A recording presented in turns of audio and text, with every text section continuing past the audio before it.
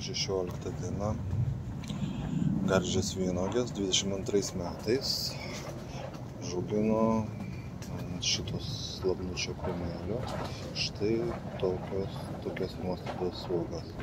Jūs matote prieš akis krasnąją planetą. O mano atsiliepimai apie ją yra labai gerai, labai geri. Kiekvienais metais jinai kažkaip maksimaliai apsikrauna, net neleidžiu aš jai sutvirtėti.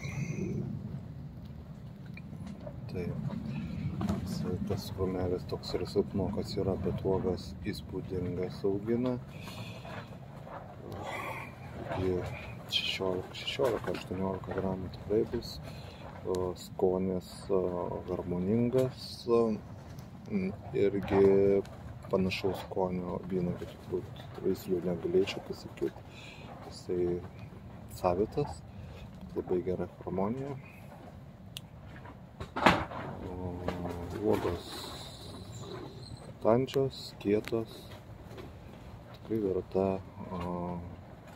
auginti šį veislę ir jinai derlinga, lygos nelabai apuola.